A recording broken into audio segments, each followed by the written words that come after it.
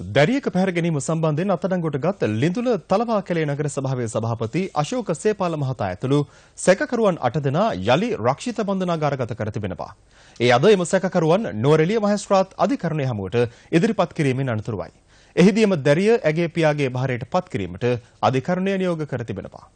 දෙදහස් දාහත වර්ෂයේදී පෝට්මෝර් වත්ත ආගරපතන ප්‍රදේශයේ පදිංචිව සිටි පස් හැවිරිදි දැරියක් පැහැරගෙන ගොස් මුදලට අලෙවි කිරීම සම්බන්ධයෙන් මොවුනට චෝදනා එල්ල වී තිබෙනවා.